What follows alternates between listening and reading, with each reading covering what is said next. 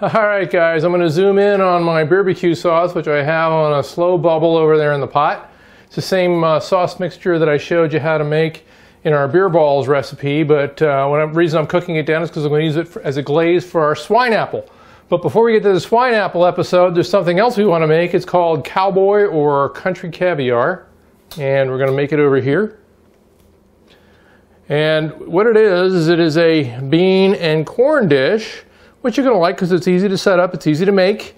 Uh, however, what makes it really interesting is you have to make the day before so that everything makes nice.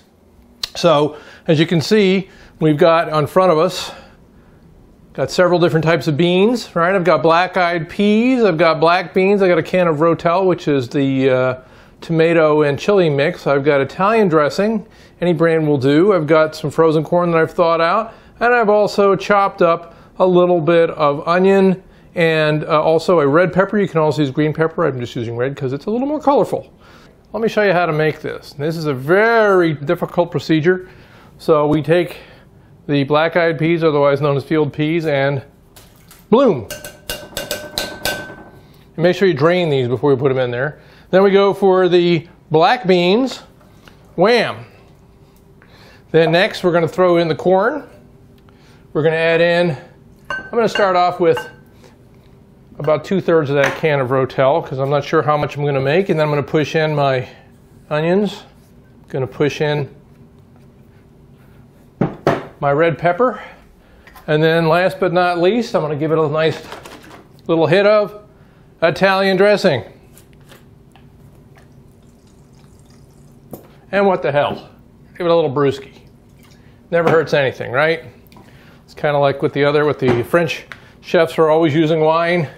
So I figure why not? We'll put a little bit of beer in there and mix it up. And again, this is something that you're going to do by taste.